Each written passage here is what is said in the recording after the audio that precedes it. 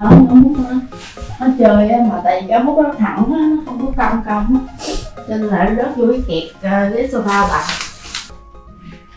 Mèo là loài vốn luôn thích thú với những thứ mới mẻ. Khi chơi với các bé mèo thì chúng ta sẽ biết được rằng chúng thích và không thích những thứ gì. Việc này sẽ giúp chúng ta trở nên gần gũi với các bé hơn. Đôi khi chúng sẽ làm một vài hành động để gây chú ý. Đó cũng là một cách mà mèo tạo được sự thân thiện, gần gũi với ta hơn. Nhưng dấu hiệu đó dường như rất là đơn giản nhưng lại cực kỳ quan trọng. Khi mà bạn mới bắt đầu nuôi mèo,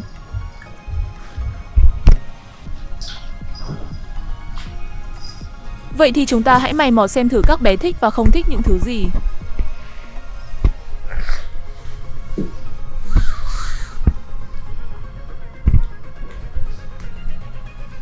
Biết đâu thông qua sự mày mò ta sẽ có thêm kỹ năng giúp ích cho hiện tại và kể cả sau này.